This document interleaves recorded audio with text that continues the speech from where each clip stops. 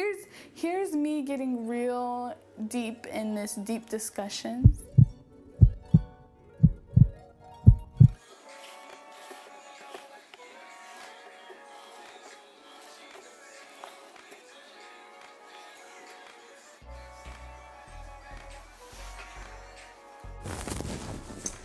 Ooh, okay. So, guys, don't even be like, don't even be salty towards me when I tell you that I just kind of discovered Odd Future. I've heard of them, like, you know, years ago. But, like, I just actually sat down and, like, listened to some of their music and stuff. And, like, I really, really enjoy it. But I'm so late. But, like, honestly, I'm so picky. I'm so picky with my music. Like, I'll listen to any and every genre pretty much. Like I used to be really into dubstep. I used to be really into like, you know, Blood on the Dance Floor even and like Paramore and like I like, you know, country music sometimes. It's very calming. I love indie music. I love that stuff. Um, I love hip hop and R&B obviously, rap, you know, that type of jazz. I like jazz music. I can listen to some jazz music. Like, I can listen to pretty much any kind of music. I just am picky about not even just artists.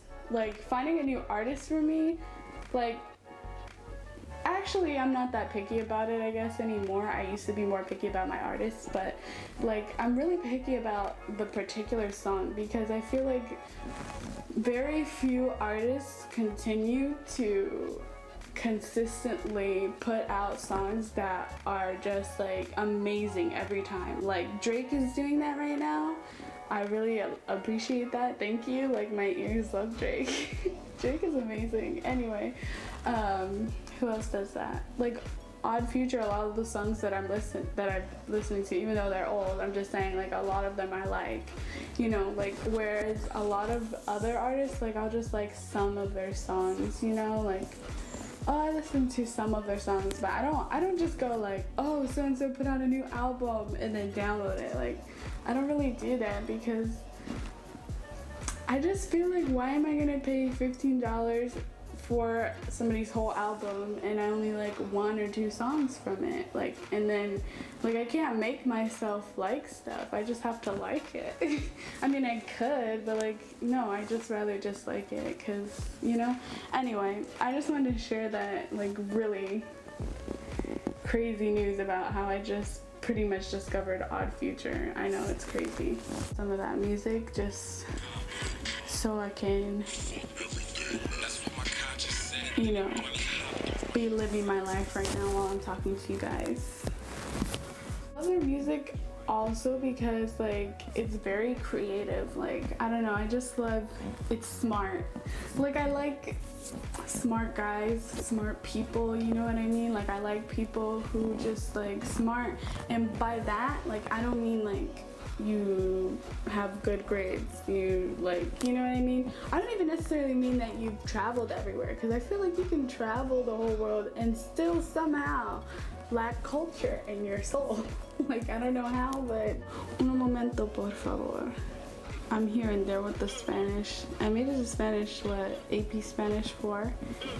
But then when I um, went to online schooling, like I didn't have that, so I didn't finish it, but I didn't have to.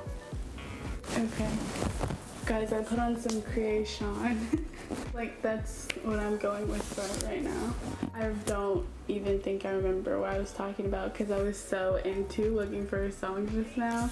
I was really like doing my best not to get sidetracked, but honestly in the end I don't remember what it was that I was talking about. Oh, I love smart people. Like I love I just like people who just know and like and and like discover and like want to know about the like the universe like they understand the flow of like what life really is in that you don't know what it is. Like you don't really understand anything but you're like i like like how is like you're almost compelled to like be interested in chasing to find that meaning of like what the heck life is but you probably can't get there. I mean, even though you want to try. But anyway, that's like, like it's just like a certain kind of smartness.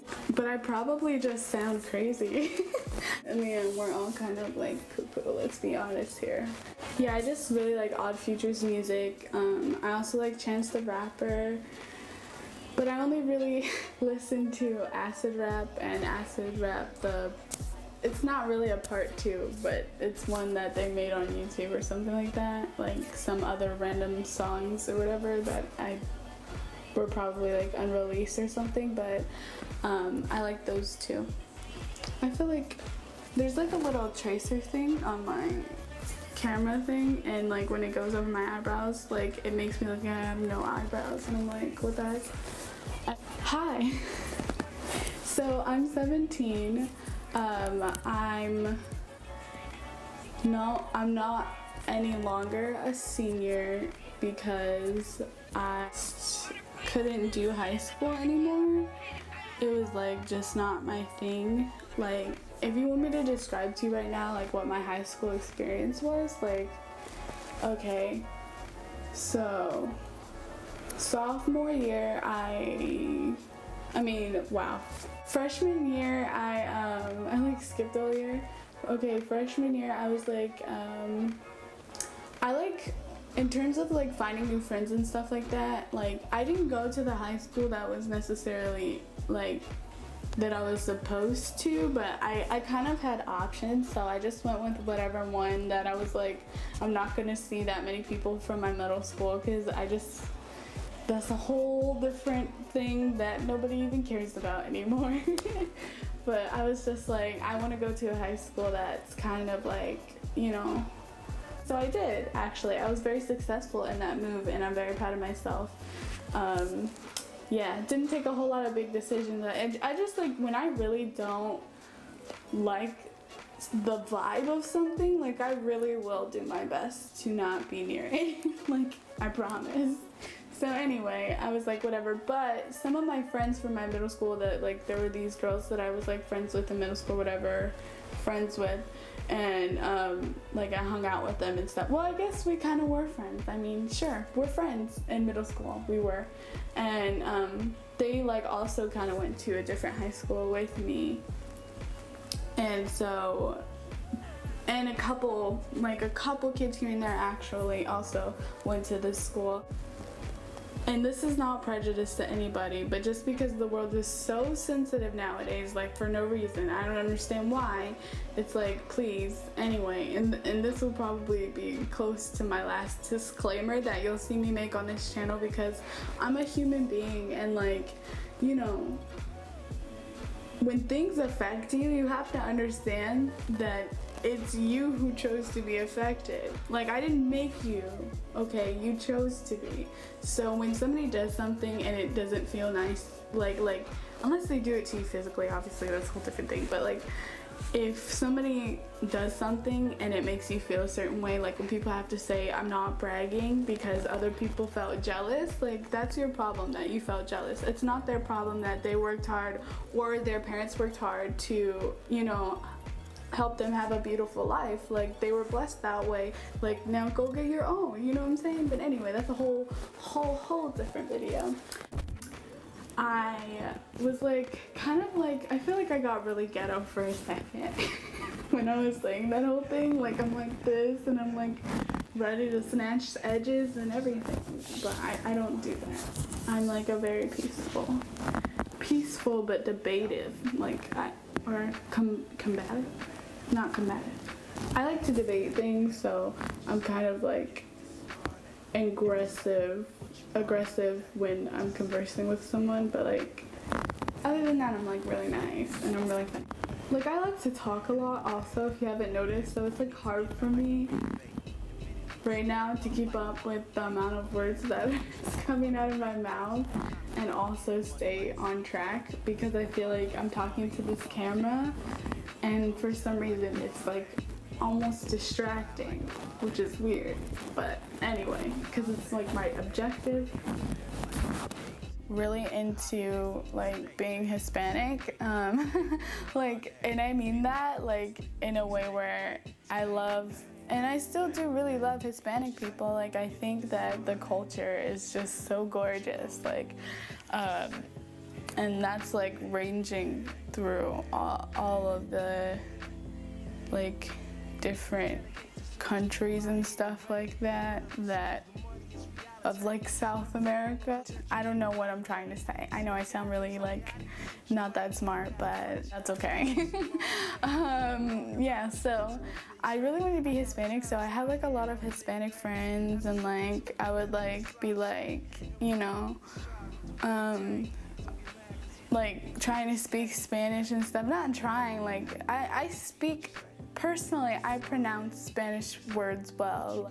Anyway, I was like trying to be all like specifically Mexican because where I live that's the specific, you know, Hispanic culture that is more prominent. So I was like trying to be, you know, Mexican, like really like I liked Mexican boys, and I still think Mexican, you know, guys and other Hispanic guys are attractive. Open to all races, obviously. I'm more picky about who the person is, like, you get what I'm saying, so. Yeah, I was also like side, like trying to be a gangster, like, like I wasn't really being like doing gangster stuff, but like I was like kind of like I had that like you know like that kind of swag and like or at least I was trying to. And I would listen to a lot of Tupac and Biggie and like rap and like don't even ask me why but first like seriously I really was trying to be like so like like hip hop and and like I don't even know like I was trying to be down. I was trying to do something and I don't know why but like my freshman year kind of consisted of that and um, my sophomore year I was like kind of the same-ish but I think my sophomore year no, I don't know. My sophomore year was like different because like when you're a freshman, you're still kind of like in middle school and you're new, you're fresh, but you're still kind of the same person you were. Not really, like you've grown, obviously, you've grown, but like you're not there. You know what I'm saying? So sophomore year is, you know, I started to be a little more like I'm growing up still. So I grew a little more and I kind of didn't um, like in the very beginning of the year, I hung out with the same people, you know, and I kind of did kind of hang out with the same people mostly and stuff like that. Oh, I also had a best friend. Oh my god. Me. Um, I also picked up some other really good friends along the way in sophomore year. Actually, I became best friends with this girl, Brittany, and stuff, and I had a really good time sophomore year. And now I remember it hits me. I had a really bomb sophomore year, like for reals, like. If I could say which years did I have the most fun in high school, and it's so weird because I feel like it's the opposite for so many people, but honestly, my freshman and sophomore year were my best years because my freshman year, I just had a lot of friends and I just like like I just feel like I talked to a lot of different people like a variety of people and because of that like I had like a lot of inside jokes and stuff. I just feel like I, I had a lot of fun like all around like I don't know if that I don't know what I'm saying yeah but like I really enjoyed freshman year for that and then for sophomore year like I really feel like um, I had like free periods and like I kind of feel like I did my senior year my sophomore year because I had a free period I had like I didn't do a sport I just like I like I don't know hung out a lot and stuff. Like, I don't know, that's what I feel like. And then my junior year, like I said, I was just kind of over it. Like, I was like, um, like,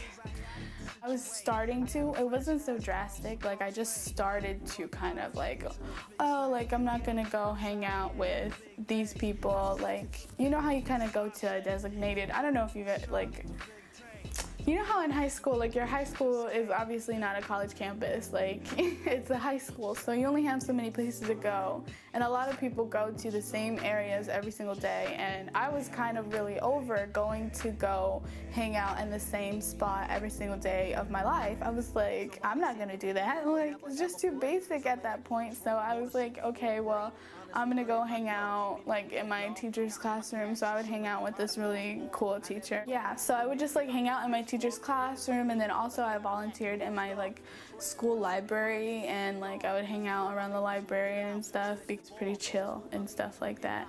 And I just kind of like hung out by myself. I didn't, I was like, I was really depressed going to high school and attending high school every day. I was like, it's, there's nothing here for me. Like, there's not a reason that I could find for me to stay there, like at all. Like, I had friends and I even had, you know, whatever, a crush and I had like, you know, you know, I was like, oh, school, you know, education, and oh my gosh, you know what I mean? But like, then junior year was like, I learned, like, I already, like, I was taking extra classes that I just really did not need to take. Like, what was I in pre pre-calculus first of all, which was like really hard. Okay, that's all.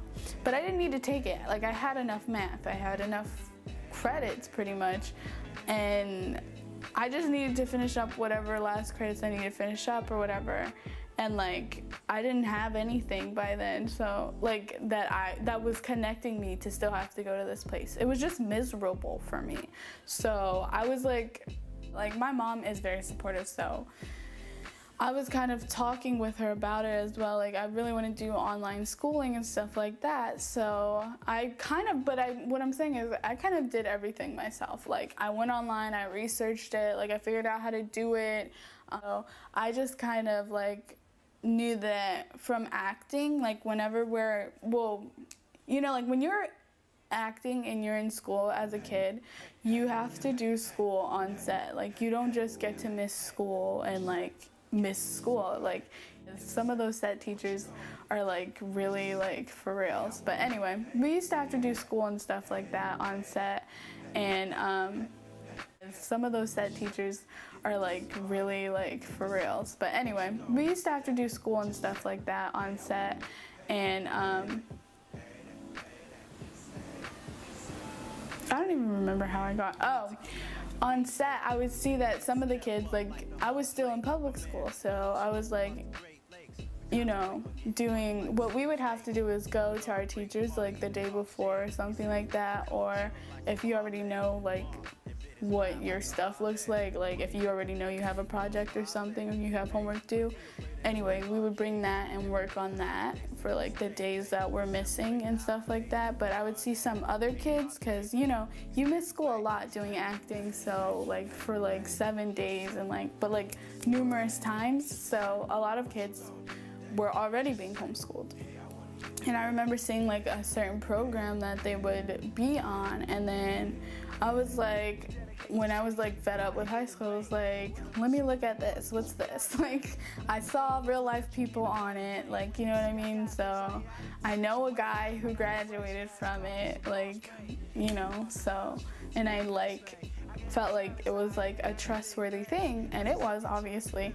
Well, it's like, you know, online schools aren't just like crap, like they have to register with the government. I mean, unless you go to one that's not registered with the government yeah, so I just kind of put myself in online schooling and just did that. And I was just kind of over it, like just ready to do me. I just want to be like completely honest about it, just being in three months, which is like really, really cool, I guess. Um, it's like, I, it's just kind of settling in. Um, I'm not going to college for right now, by the way, just because I feel like what, like, what am I gonna go there and do? You know what I mean? Like, if I go there and do some high school type of stuff, which I probably would not be in remedial classes, like I'm sure.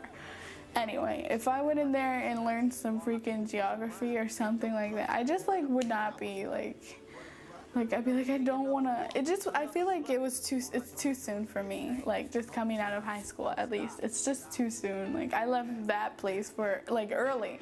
So what am I gonna go to like college for at least for right now? Like I don't feel like the only thing that I would want to study there is philosophy and that's really it for real. Know oh, anything about what I want to do at all. So here's here's me getting real deep in this deep discussions, you know, because this is what I'm gonna call this series where I just sit down and I just kind of talk with you guys and tell you guys like like what's up. Like I don't know what I want to do with my life and it, it drives me crazy because I actually like if somebody asked me, you know, yesterday I was watching this um, interview of uh, who was it? Was it um, Suede Brooks with this person? This person, this guy Cameron something. I don't remember his last name quite right now. I just like found his channel like the other day, so you know, give me a break. Cameron with a K. Was interviewing Suede Brooks and he had asked her like at some point he was like oh like what did well what did you want to do when you were 12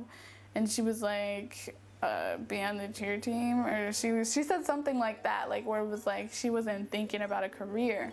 And he was like wow that's crazy yeah because like when you're 12 you're thinking about you know like playing video games or something. Like no when I was 12 um, I think I had already written a novel by then. Um, was so destined to be an obstetrician. Like I already knew I needed to go to school for 11 years just about and that I needed to do, you know, like two years of residency and I needed to do this many years of that. And blah, blah, blah. I needed to get a BA in biology of any kind and that, you know, blah, blah, blah that I wanted to work in a hospital, not a private practice, and da da da. I already knew all that stuff. I had that stuff figured out. I I think I wanted to go to the University of Washington, Seattle, and I or I wanted to go to the University of um, Madison, Wisconsin. Don't ask me why I wanted to go to school in Wisconsin. Just like I don't know. I was really set on that since like seventh grade. I really wanted to live in Wisconsin. I don't really feel that that kind of way right now, but I maybe just because I like cold climates or something like that. But I like was so destined to be this thing and it wasn't like hard to like it's not like like I wanted to be many things. Like my mom personally has worked so many different kinds of jobs like so many like like she told me she's written death certificates for horses. Does that like you know what i mean? Like where do you you you don't find that job like just anywhere like and that's just because new yorker so you know you you hustle. I was gonna do this thing and like or do whatever things some things you know what i mean? And like now i just feel like i don't know what to do. Like i i'm just like like for a long while been doing nothing. And that's not cool with me personally just because I'm not that type of person. Like I'm accomplished. I like accomplishing you know what I'm saying? I'm ambitious and I like progress. I like progression. I like to be progressive. Like I just like for things to keep moving forward and anything that is not moving forward really trips me out. It gives me anxiety. Like if things don't move forward, like I, I start to get depressed and like it's just really emotional for me because like in my mind like things have to like be doing this because it's like just not okay if it's not i don't know i can do that stuff it's just like i'm like looking inside of myself and it's like where is it though like where is the me who knows how to do that, who wants to do it, who can just do it. When you're an artist or whatever, you like you have a purpose. Like even if that purpose is like like your purpose is specific to your art. You get what I'm saying? So your purpose at the moment may be painting the Mona Lisa, but that's your purpose or whatever. Painting art, generally speaking, is your purpose. Or making music is your purpose. Or, you know, whatever you do that's artsy to you, making YouTube videos is your purpose, whatever. And I feel like it's like, what is my purpose right now? You know what I mean? Like, I guess I didn't really need a purpose, like need one until right now. Well, I don't, I feel like I need a purpose. I mean, I don't know if whatever society's saying, but I feel like I need something to be doing with my life, you know, or, and or like a reason to be doing that stuff. 17 years of my life, I, I haven't had to have a purpose because my main purpose was going to school. And the thing is that like when you get to a certain age and you don't go to school any longer, that may not be this age because, you know, at this age, a lot of people are going to college. So they're gonna go to school again and then they kind of have that safety net again of, you know, right now their only purpose is to be going to college. Personally, because I don't have that, I'm straight into like my purpose is probably going to be a job of some sort so I don't have high school as being, or any kind of school, grade school as being my purpose anymore. Like, I don't have to get up and go there every day. I'm probably not allowed to since I graduated. I'm going to do, ooh, I'm going to do, um, just like be making YouTube videos, share my art, share my soul with the internet, you know, from time to time, specifically every other day. oh, I'm writing poetry. I need to be writing it every day and I don't, and it's stupid just because I don't sit down and do it, actually. That's the only reason why. Um, I've written some poems that I'm going to share with you guys on this channel. I actually may film one right now, like right after. Like you might see me exactly the same right now. Like this kind of aesthetic in the next video. Or I might wait and film it just because I also kind of want to turn it into music, but I was like, oh, like, oh, I'm just, you know, like it can't be that hard. Let me just produce my own music to go with it. It's so hard. And it's just probably mostly hard because um, I don't have the correct materials, you know what I mean? You kind of need to buy like a keyboard and like, you know, those kinds of things to be able to produce music. You don't have to, of course. Like I really want to, so I want to make songs kind of, or like make like music to at least accompany like some of my spoken word and like my poems. It's just like, like I said, like I don't know how to produce music yet. Thank you guys so much for watching this video. Um, I'll see you guys on, what is it? Today is Monday, Tuesday, on Wednesday.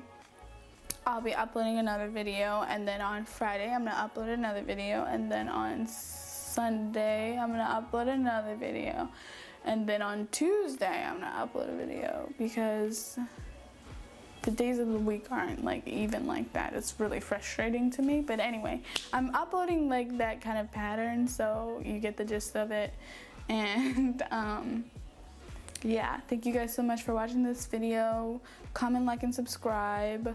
Let me know if um, you guys like like this. Um, obviously, and that's why you would comment, like, and subscribe. And if you didn't like it, you know, I apologize that I even addressed you. um, love you guys. Peace and positivity, like better than what I said before just now. Love you guys later. And yes, I did do that basic hand to the camera lens thing.